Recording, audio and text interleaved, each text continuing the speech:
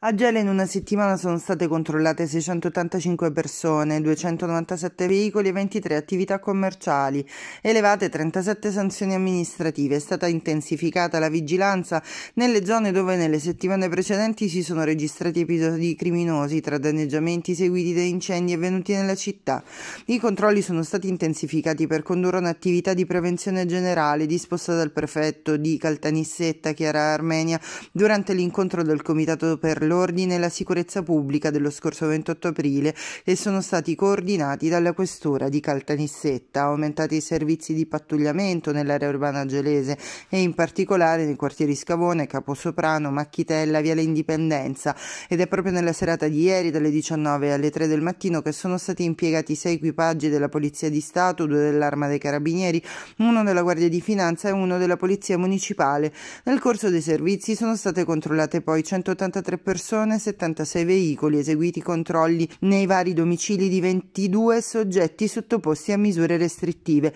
26 controlli amministrativi e esercizi commerciali, eseguite 5 perquisizioni ed elevate 15 sanzioni al codice della strada e di natura amministrativa. Così nel corso della settimana dal 25 aprile al 1 maggio la Polizia di Stato con l'impiego di equipaggi del commissariato di Gela della divisione amministrativa della Questura, della Polizia Stradale, del reparto di prevenzione crimine di Palermo Palermo ha proceduto al controllo di 502 persone e 221 veicoli, eseguiti controlli a 37 soggetti sottoposti a misure restrittive, 8 controlli amministrativi, esercizi commerciali e in generale svolto un lavoro di vigilanza sempre più capillare nelle zone che eh, sono state identificate come quelle con maggiore frequenza di episodi criminosi. Sempre nel corso di queste attività sono state eseguite tre perquisizioni ed elevate 22 sanzioni al codice della strada e di natura amministrativa. I servizi sul territorio gelese proseguiranno nelle prossime settimane.